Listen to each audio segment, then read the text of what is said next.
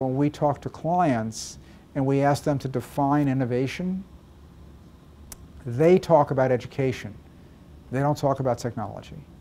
They talk about, you know, how law firms are teaching them things, how law firms are providing information. They're not talking about Watson just yet.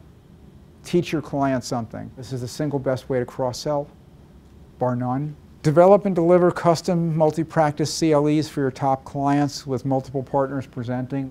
You know, when I talked to general counsel, one of them said to me, the oddest conversation they ever have is when a litigation partner that they've been working with shows up with an IP partner and says, hey, this is my IP partner, and they're awesome. It's like, well, what do you want me to do? you want to talk about IP? No, go in and teach them something.